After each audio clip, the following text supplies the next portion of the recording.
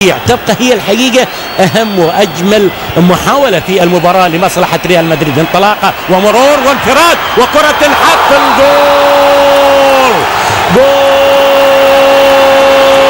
أول في المباراة. جرانيرو يتوج مجهوداته في خط الوسط الحقيقة وبنشاطه في خط الوسط.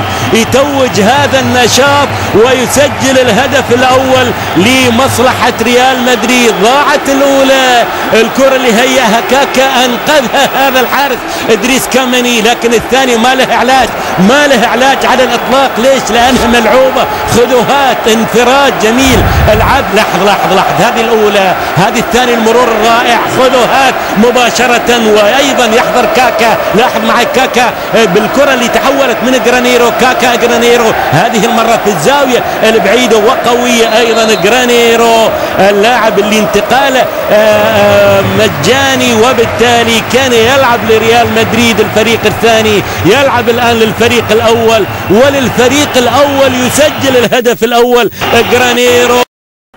إسبانيول على أقل تقدير مثلا التعادل تأتي المحاولة لريال مدريد. كرة في الجهة اليسرى انطلاقة. ومرور ناجح. ممكن جول ممكن جول ممكن جول. جول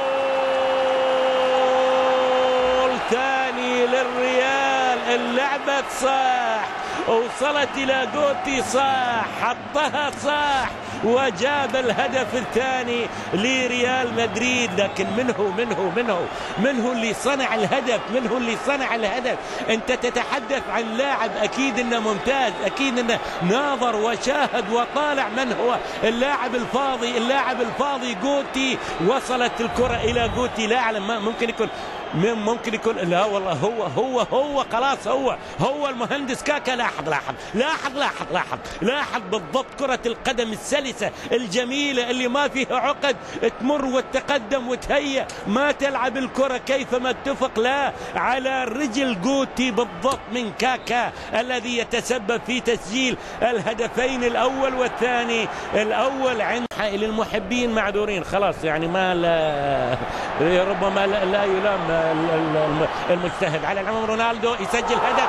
كريستيانو رونالدو نعم يسجل الهدف الثالث لريال مدريد.